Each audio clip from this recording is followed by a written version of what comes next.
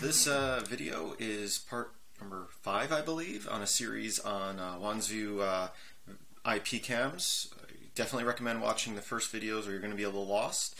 Uh, there should be a link in the description or on the screen in annotation for the full playlist.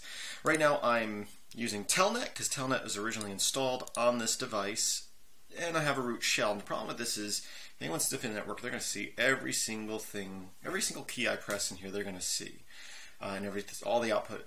So it definitely be better if we could do this securely, encrypted. So the way we would normally do that with is SSH, which is not installed on here, but luckily there is a program called Dropbear, which is a very lightweight SSH, both server and client. And that's actually a pretty neat, neat little tool. And it's also rather small. Um, I think it's a half a megabyte. We'll find out here in a minute.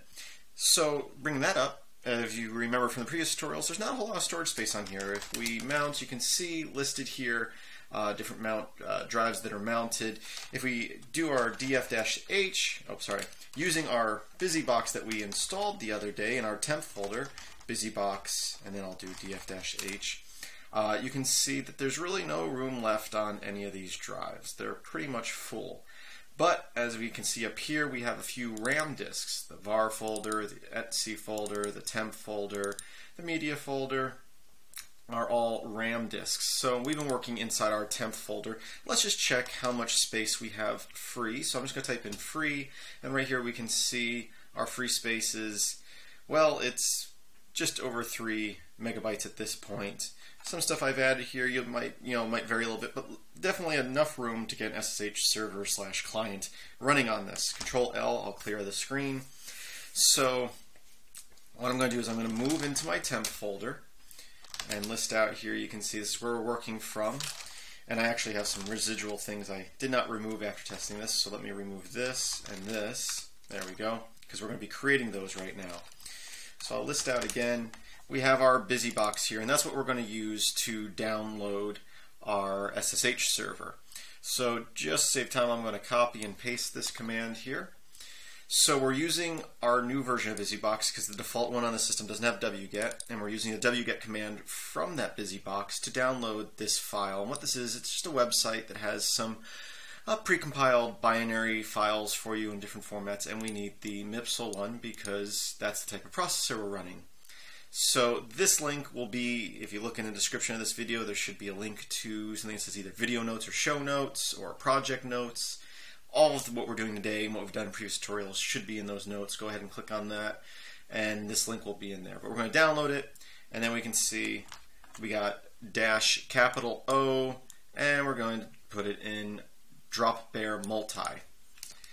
So I'll hit enter and it's not very big at all. And in fact, if I list everything out now, let's use our BusyBox that we just uh, added here so I can use the dash H to get things in human readable format. We can see right here that Dropbear multi is, yeah, like half a megabyte. So not very big at all, so perfect. And now we just need to initiate it. So first thing we need to do is make it executable, change mod plus X, our drop Dropbear multiple, multi. Clear the screen again just to keep things up here for you. Now, I guess I shouldn't clear the screen that fast. You guys want to see what I'm typing. But we're going to link a number of things. So we're going to use the ln-s, do a symbolic link to the multi, uh, Dropbear multi. And now drop Dropbear multi, uh, it's binary, can tell what you've linked to it when you're running it, and it will act differently. Basically, it's multiple programs put into one. So we definitely want it to run as Dropbear key. We also want to run as Dropbear. We also want it to run as a DB client and also as an SSH client and SCP. And I'll explain all that in a minute, but I'm going to start the next step because it takes a little while. I'm going to say make directory, and in etc I'm going to do dropbear. So I just create a new folder. I'm going to move into that folder. And then using the Dropbear multi that we just uh, installed, but using the link we created to it. So when we run this command, it's running this program, but it knows to run as the key generator. So we need to create some keys for um, our server to use so that, you know, we can do things securely. So I'm going to say RSA host key. Okay, I'm going to hit enter. So that's going to take a little bit. Basically, we're in this. Oh no, I'm in the wrong folder. Control C to stop that. Let's. Uh, okay, we want to be in etc dropbear. There we go. Okay, up arrow a few times. Now run that command. Glad I noticed that. Two types of keys you can use. You can read about it on yourself. There's the RSA and the DSS types of keys. DSS, I guess, is a little bit quicker on generating. I really don't know all the differences. We're going to generate keys for both, but we're generating a key called this, and we're putting it in this folder, and we're going to create one called the same thing, only instead of RSA, it's going to be DSS. So that when we start our server and a computer connects, it can share that key, and that's how the encryption happens. Takes a little while to generate, as you can see, but let's talk more about this multi up here. As you can see, we're running this program down here, and it's linking to that, but because we're calling it as this, it knows that it's the key generator. When we start our server in a moment, we're going to be running it as dropbear.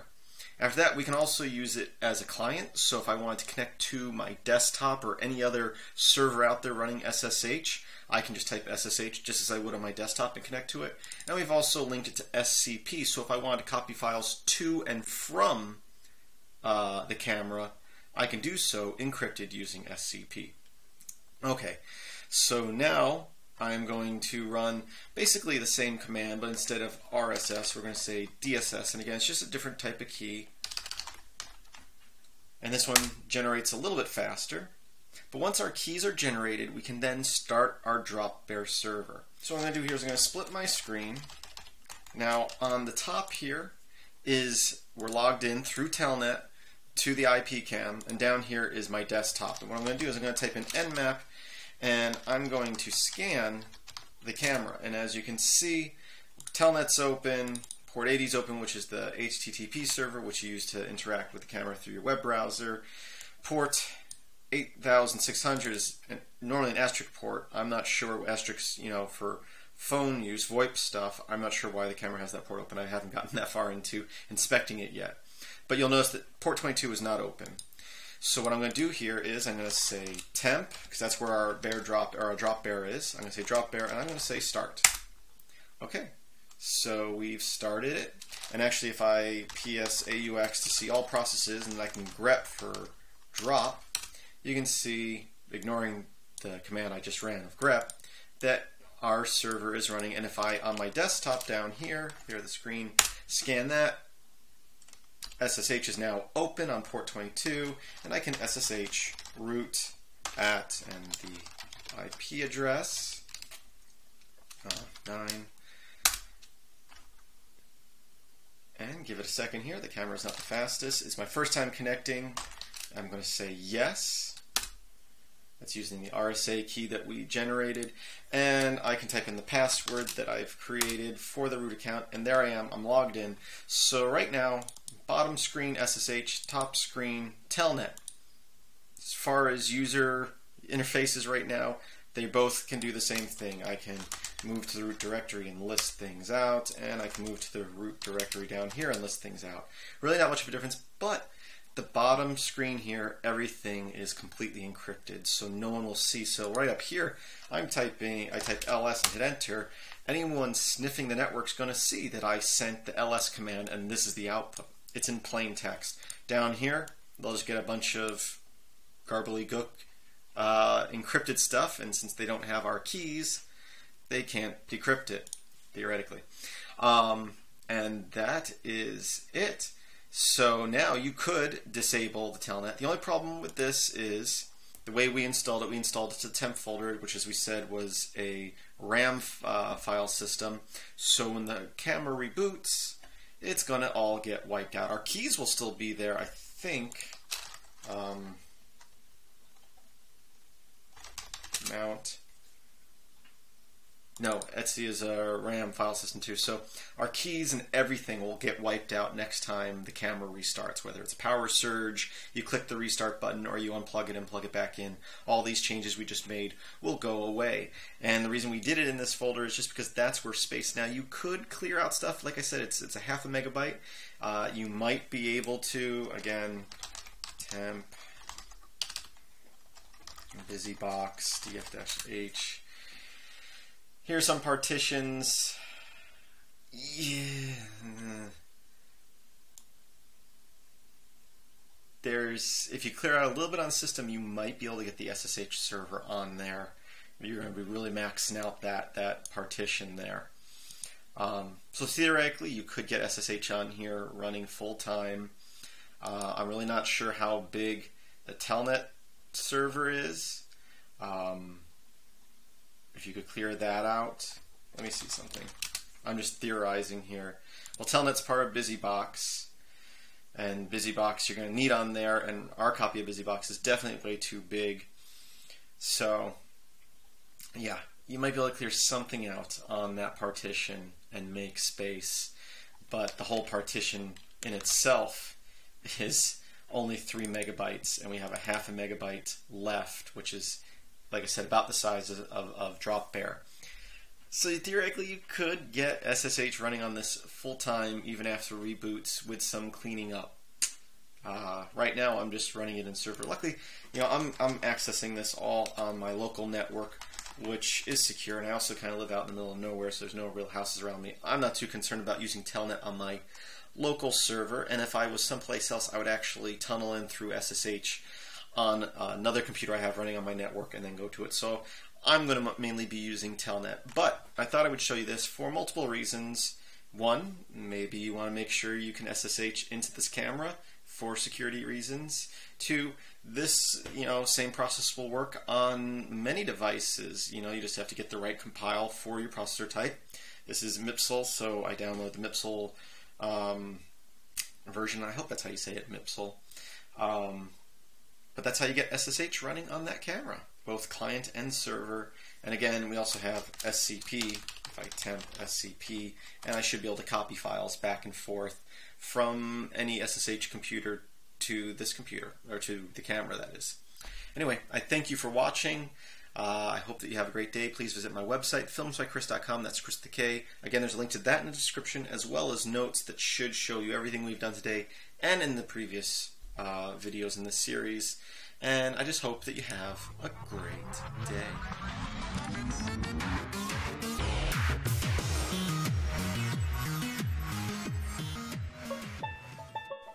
Okay, this is an introduction to filmsbykris.com. I'm Kris, that's Kris the K. That's me right there. My daughter Ember, and my wife Jennifer. We pretty much live in the swamps of Florida. I'm a firefighter by day, as well as by night. We work long hours. But that's not why you're here. You're here about the videos I put up on YouTube. These videos are mainly about computers and programming which means most of my videos look something like this. And if that's what you're interested in, great. If not, that's alright. I do videos on other topics too, such as video editing, special effects, photo editing, 3D design, and music creation. If you are one of my viewers and you enjoy my videos, my Patreon page is a place where you can go to help support my videos. So I ask that you take the time to go to my Patreon page and look at the different levels of rewards you can receive for different levels of backing.